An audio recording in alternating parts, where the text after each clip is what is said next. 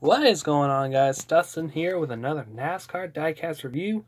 Today, we are taking a look at our second AJ Allmendinger diecast review. And this is actually a very, very special one indeed because not only is it autograph, this is also autographed edition. You can tell by this certificate right here. It's also one of the first few Darlington Raceway throwbacks back to uh, 2017. Now, you're possibly wondering, now if you're a Terry Labonte fan, you should recognize this scheme because this is the scheme that won his 1984 NASCAR Cup Series championship. This is actually the Piedmont Airlines colors. Of course, the blue can be a little bit lighter, but that's what this appears on the uh, on this ride instead. Enough about Terry Labonte, which is, you know, Texas Terry. He's a really cool driver. I'll admit that. Now, throwback weekend, it's always been one of the most enjoyable weekends of all time. You know, nostalgia of seeing these schemes hit the track again. Like, let's say, uh, Chase Elliott doing his uh, original throwback to his dad's Coors Light car from 2015 to Kyle Busch's various M&M's throwback schemes, and just recently he did a throwback to Elliott Sadler when he was racing the 38 full machine. So, so quick question: What's everybody's favorite throwback? You can always comment down below. What's your favorite? There are a lot, but those are the only ones I can remember. I do have a few Jimmie Johnson ones myself. I actually do have the uh, one from 2015 up on my wall. But I don't think I have any of uh, Chase Elliott up here besides his uh, 2015 ride, which is a throwback. but I like to see Chase Elliott do a throwback to his uh, first Xfinity Championship car. So that's going to be a really awesome one. So anyway, enough about that. Let's take a look at this. Today we're taking a look at our second AJ Allmendinger car. Now, some of y'all like the uh, Busch Baked Beans color chrome car, which is actually, you know, really amazing. You know, it's just that color that just amazingly pops out and just really attracts your eye. Unfortunately, this one's not color chrome, but that's okay. Anyway, this is the uh, the Allmendinger yeah, Kroger quick click list Chevrolet SS. And this is actually the autographed version, which is really awesome. This uh, so it's just, oh my god, this thing just really is amazing. There's the up front, you got Chevrolet SS, you got JTG Daugherty Racing, you got number 47. Up on the hood, you got Kroger Clicklist, and there it is up on the windshield. The real, authentic autograph of AJ Allmendinger. That is 100% real right there. There is no ands, zips or butts about it. You also got the Monster Energy banner up here. You also got the number 47 in the same style as Terry Labonte's number 44 1984 championships here. Champion car. Up on the sides, you got, got Mog Mahal. Now, these are actually some of the. Now, what really makes it interesting about Throwback Weekend is even the uh, contingency sponsors are even in their throwback modes. You got Mog, Mahal, that middle one, I don't know who that one is. Edelbrock, Sunoco, and instead of the yellow lettering for Goodyear on the tires, they're actually white for a change.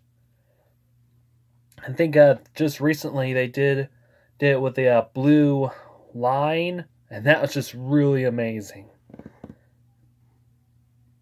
And here we are. We Got NASCAR International. That's the uh, NASCAR throwback. There we go. Got Monster Energy. Well, you got Texas Stance on here. Now, I don't know what that one is all about. It's been a while.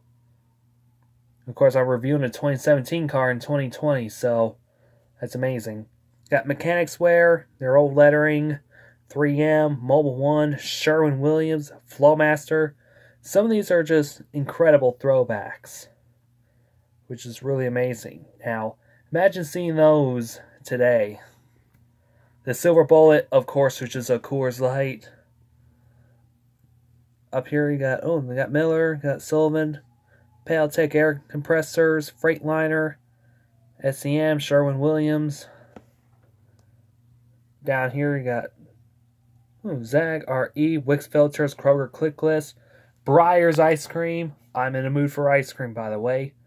Kingsford, Scott, Bush's Best, Velveeta, Crisco, American Ethanol.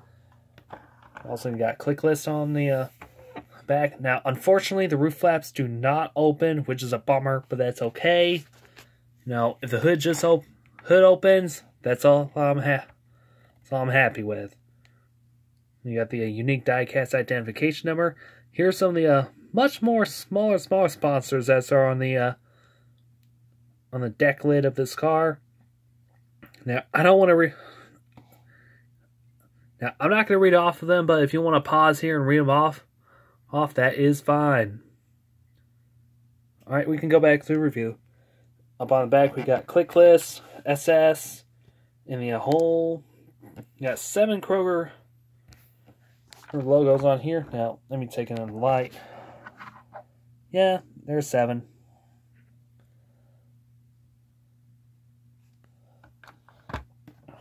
Also got AJ Allmendinger's name in just basic lettering, which is really amazing.